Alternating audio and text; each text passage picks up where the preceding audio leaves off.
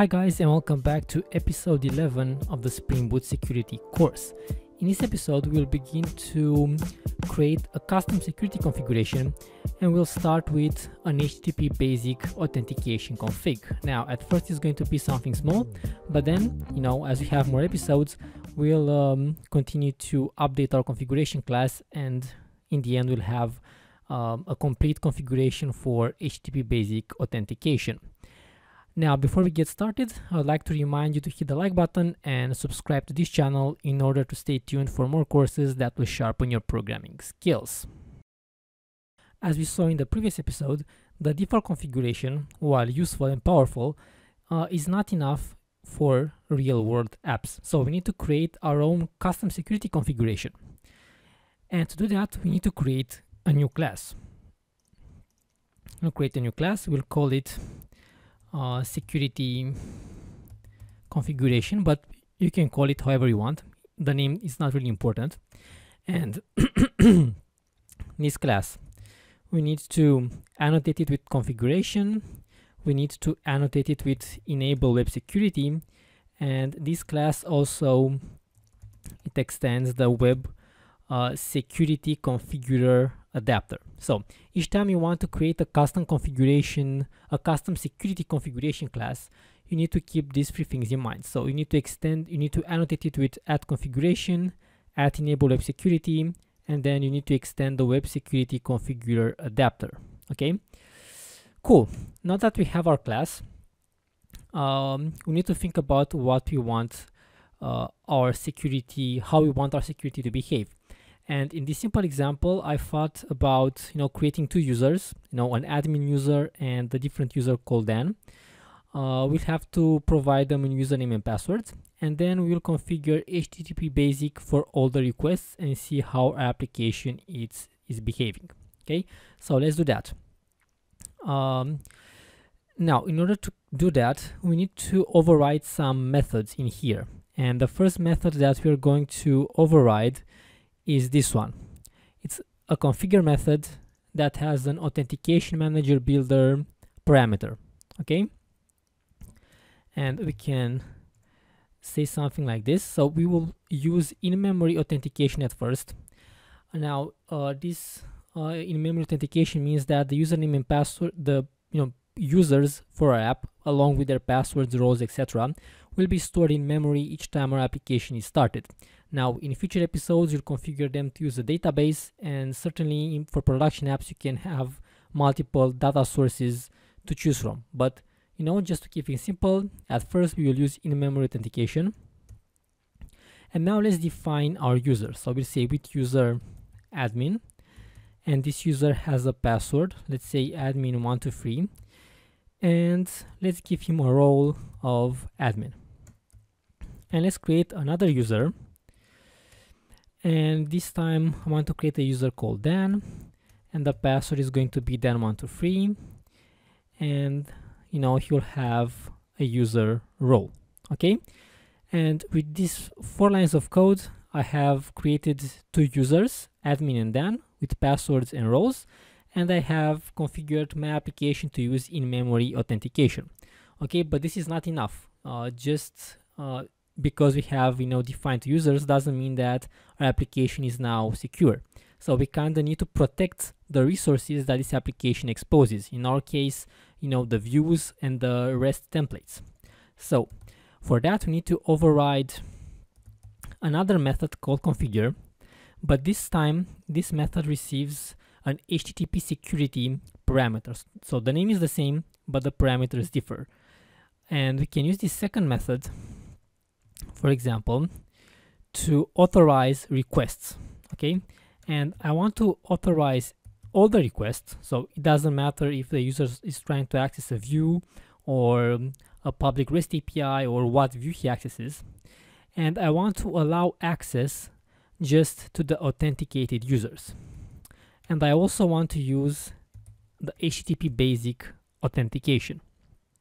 Okay, so this looks like a uh, you know a simple security configuration that you will use in our application and no matter what configuration you use the structure is always the same so we have uh, to configure methods, the first one is to define a data source for your users, and the second one is to authorize requests.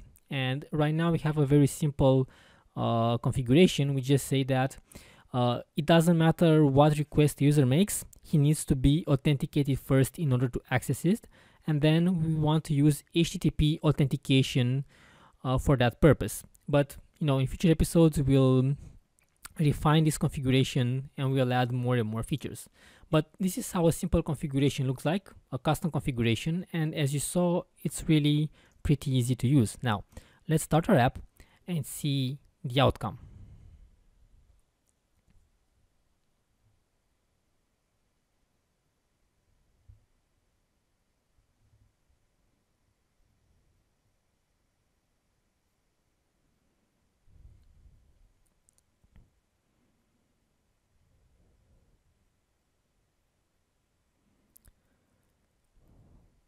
Okay, the application started.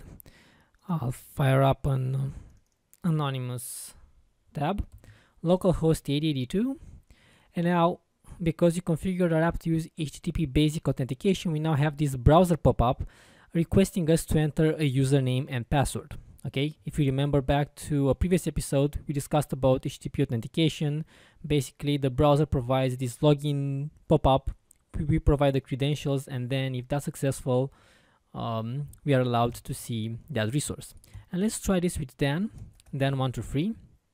Hit sign in and it doesn't work. And we can have admin, admin123, click sign in and it still doesn't work. And let's take a look at the errors. And we see something like password encoder map to ID null. And if you're, you know, if you played with Spring Security in the past, then, you know, this was everything that you need to do to configure uh, security, for example, for this example.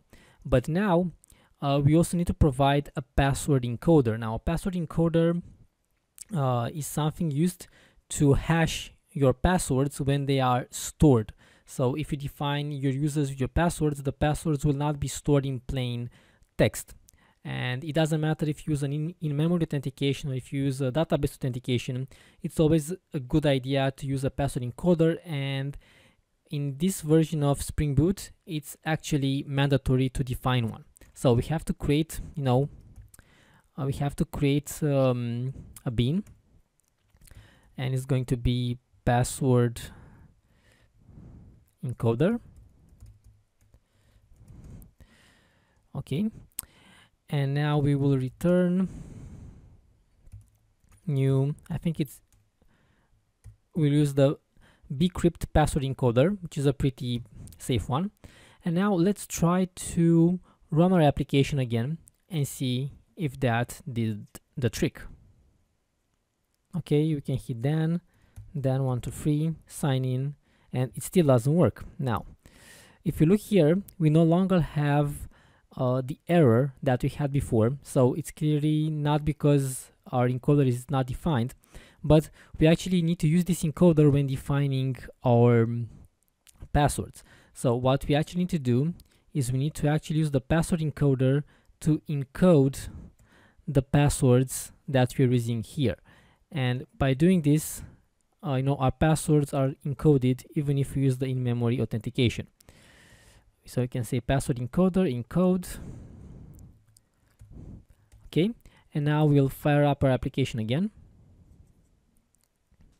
Okay localhost 8082 I'll hit Dan Dan one two three sign in.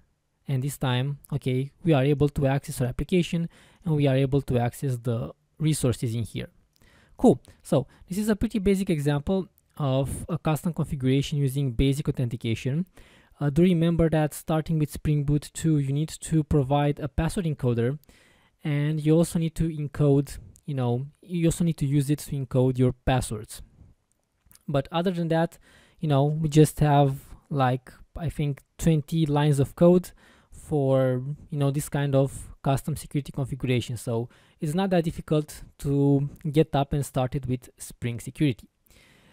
Uh, now, in the future episode, we'll try to um, refine this access because right now, uh, it doesn't matter if you're an admin or if you are a uh, standard user, you can access all the views and all the resources. And what we want to do is we want to provide a finer level of granularity when it comes to you know authorizing requests for example you might want the admin to be the only user to access you know the admin page or you might want the default page to be accessible by everybody. But then the profile page and the rest of the pages to be accessible by you know an authenticated user. So these kind of granular access rules um, you know are definitely used in real world apps and in the future video we'll see how to configure them before we close, I would like to remind you to subscribe to this channel and stay tuned for more software development tutorials that will sharpen your programming skills. Just go to the Romanian Coder YouTube page and click on the subscribe button. Also, if you found this video useful, please hit the like button and share it with your friends. If you have any comments, thoughts or ideas for new courses, just put them in the comment section at the end of this video because I would love to get feedback from you guys. You can also find me on Twitter at Romanian Coder and you can also check out my blog www.romaniancoder.com. Until next time, have a great day and write amazing code. Goodbye.